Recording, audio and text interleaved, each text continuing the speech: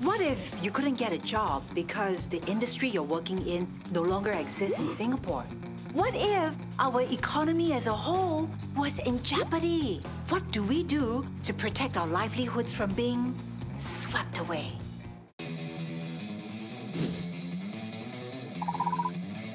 Think about it. When sea levels rise, our factories and workplaces along the coast will be underwater.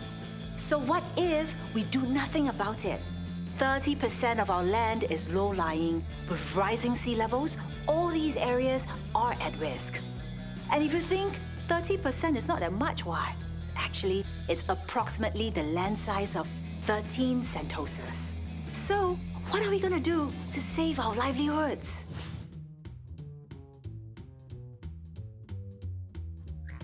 maybe become the new tourist attraction underwater. 希望不会咯，政府好像在想办法解决，什么？My family business might not be able to continue. It's a bit more difficult to import all the resources into Singapore. So there will be lesser food supply, the resources, everything. I'm sure the government uh, are taking steps to proactively make sure that the rising sea levels are not affecting us, our population, our economy, normal Singaporeans like us won't honestly care about such stuff until we really see a problem, mm -hmm. then people will start to like, you know, do something about it. Everything is interconnected these days. Rising sea levels affect the flow of supplies into Singapore, which affects the jobs of people transporting the supplies. It is a ripple effect that goes across industries island-wide.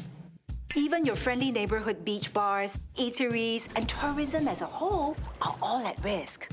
So are the livelihoods of those working in these industries if nothing is done to protect our coast.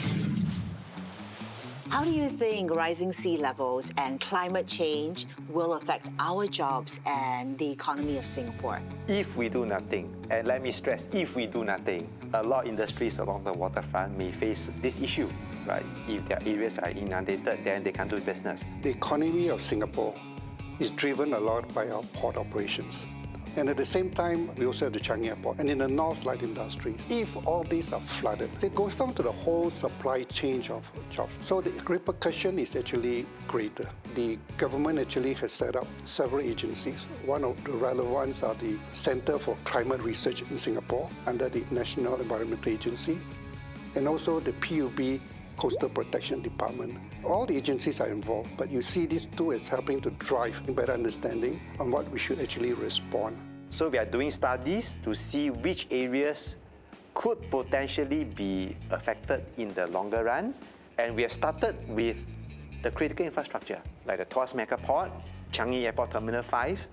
They have been designed to be a much higher level so that they can overcome this challenge posed by sea level rise. Moving beyond this critical infrastructure, we'll start looking at the other areas of the coastlines could be in potential danger in future. Singapore must remain the shiny red dot that we are now. Everything that we do must ensure that our livelihoods remain, our economy continues to thrive, and people can go about their normal daily business. Just that they need to have the community resilience to yeah. take care of climate change together with us as a whole of nation effort. It is very clear that rising sea levels will cause some land to be uninhabitable, and our economy will be impacted in some ways. But we can fix the problem today to reduce the impact in the future. This affects all of us, so let's get involved. If you want to find out more, do check out this site